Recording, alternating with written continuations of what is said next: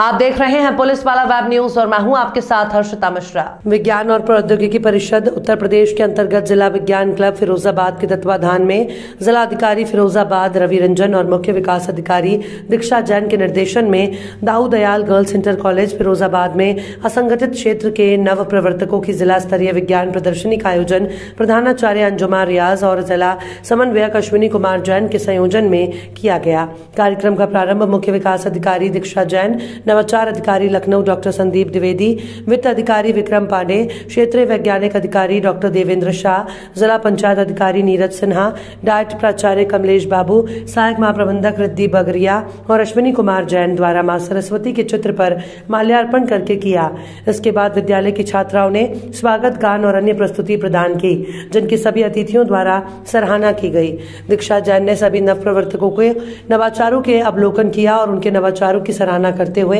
अधिक से अधिक नवाचार को अग्रसर करने के लिए प्रेरित किया। डॉक्टर संदीप द्विवेदी ने सभी को नवाचार के मॉडलों को बल्ब, मोबाइल और गूगल के माध्यम से समझाया। डॉक्टर देवेंद्र शाह ने सभी के कार्यों की प्रशंसा की। अश्विनी कुमार जैन ने बताया कि इस विज्ञान प्रदर्शनी में जनपद के असंगठित क्षेत्र के 260 नव प्रवर्तकों के साथ छात्राओं ने 123 मॉडल प्रस्तुत किए, जिसमें एक्यूप्रेशर मशीन, निकाह की कलम फ़ैशन डिज़ाइनिंग फलों की खेती जैविक सब्ज़ियाँ कांच के आइटम लैंप आदि मॉडल प्रस्तुत किए निर्णायक मंडल की भूमिका का निर्वहन राहुल रावत राजेश यादव और शमशाद बानो ने किया प्रदर्शनी में प्रथम स्थान देवी दयाल द्वितीय स्थान राकेश कुमार तृतीय स्थान अक्षा चतुर्थ स्थान डॉक्टर नदीम बानो पंचम स्थान प्रबल प्रताप सिंह और अंतिम स्थान अर्चित ने प्राप्त किया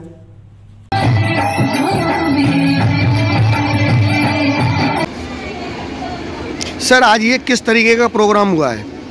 ये हमारा नवप्रवर्तन जागरूकता के अंतर्गत जो कि हम पूरे प्रदेश में विज्ञान एवं प्रौद्योगिकी परिषद द्वारा कार्यक्रम आयोजित हो रहे हैं। उसके तहत ये